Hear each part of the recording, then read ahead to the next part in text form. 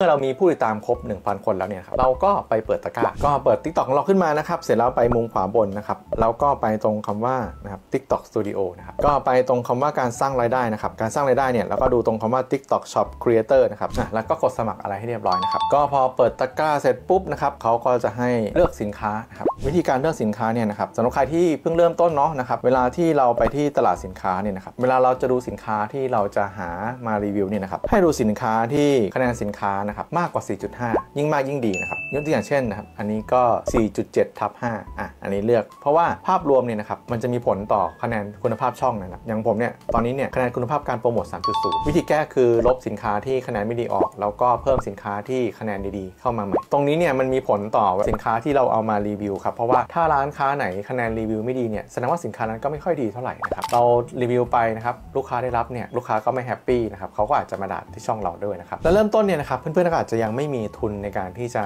หาสินค้ามารีวิวด้วยการซื้อนะครับดังนั้นเนี่ยเริ่มแรกนะครับให้เอาของที่มีอยู่ในบ้านนะครับวิธีการนะครับไปที่หน้าแรกของ TikTok นะครับแล้วกดแท็บคำว่าร้านค้านะครับเสร็จแล้วเนี่ยนะครับกดตรงรูปกล้องนะครับหาของในบ้านมานะครับยกอย่างเช่นนะครับผมมีเครื่องดูดฝุ่นอันนี้นะครับผมก็จะถ่ายรูปแบบนี้ เสร็จแล้วผมก็ดูครับว่าสินค้าตัวนี้เนี่ยมันมีอยู่ใน TikTok Shop หรือเปล่านะครับคือเริ่มต้นเนี่ยยังไม่ต้องใช้เงินให้มากนะครับใช้ของที่มีอยู่ก่อนมารีวิวนะครับเสร็จแล้วเนี่ยนะครับให้เราดูนะครับอะดูสินค้าเนี่ย top choice นะครับต้องดูด้วยนะครับว่ามันอันเดียวกันหรือเปล่าครับถ้ามันไม่ตรงกันเนี่ยเดี๋ยวจะมีปัญหานะครับเพราะว่าสินค้าที่รีวิวกับตะกร้าไม่ตรงกันเนี่ยโดนละเมิดนะครับสมมติดูอันนี้นะครับโอเค ที่เราจะดูก็คือตรงด้านล่างสุดนะครับจะมีลูกศรชี้ขึ้นเนาะอะเราดูครับว่ามีสต็อกเท่าไหร่สต็อกต้องเยอะนะครับเพราะไม่งั้นเนี่ยสต็อกน้อยเนี่ยเดี๋ยวจะโปรโมทไม่คุ้มนะครับค่าคอมเท่าไหร่นะครับมีคนรีวิวหรือยังนะครับไหนลองอ่านรีวิวดูซินะครับ เป็นยังไงบ้างนะครับ มีโปรโมชั่นอะไรบ้างโน่นนี่นั่นนะครับ โอเค ดูภาพรวมแล้วใช้ได้ เราก็ค่อยกดเพิ่มใน showcase นะครับ ซึ่งมันก็จะมาโผล่ที่หน้า showcase ของเรานะครับ นี่นะครับ showcase ก็คือตะกร้าเนี่ยครับ ตรงนี้เนี่ยเขาเรียกว่า showcase นะครับ พอมาโผล่ในตะกร้าปุ๊บ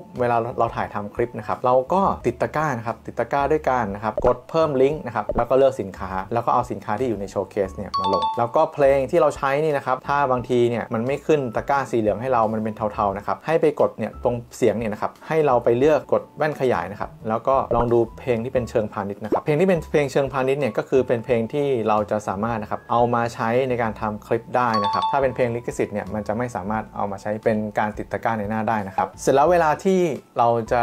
ซื้อของมาใช้ในบ้านเนี่ยปกติเราจะซื้อที่แอปอื่นถูกไหมครับ แต่ว่านะครับก็ให้เราซื้อสินค้าที่อยู่ในตัว TikTok นะครับ ก็คือเรามาที่ร้านค้าเนี่ยนะครับเนี่ยเราก็กดซื้อกดซื้อในนี้ได้เลยนะกดคูปองกดซื้ออะไรในนี้ แล้วก่อนกดซื้อเนี่ยก็เหมือนกันนะครับว่าเราก็ดูว่าเขารับนายหน้าหรือเปล่า ถ้าเขารับนายหน้าอย่างเงี้ยโอเค เราก็กดซื้อจากร้านนี้เลยนะครับปกติต้องซื้ออยู่แล้วนะครับน้ำยาเครื่องซักผ้าอะไรต่างๆนะของใช้ในบ้านเนาะเราก็เปลี่ยนมาซื้อที่นี่แทน เสร็จแล้วเราก็รีวิวด้วย แล้วก็ดูตามสเต็ปที่ผมบอกทั้งหมด ซึ่งเราใช้ของที่ซื้อมาจริงๆนะครับและเราก็ได้รับค่านายหน้าด้วยนะครับมันก็จะ win-win ทั้งคนซื้อทั้งคนขายนะครับแล้วก็พวกกล่องพวกอะไรเนี่ยซื้อมาแล้วก็อย่าเพิ่งทิ้งนะครับเพราะว่าถ้าเราจะเอามาเป็น prop ในการที่เราจะมาทำไลฟ์ก็ได้เอามาตั้งข้างหน้าอย่างเงี้ยครับแล้วก็รีวิวนะครับเราจะได้มีของโชว์นะฮะ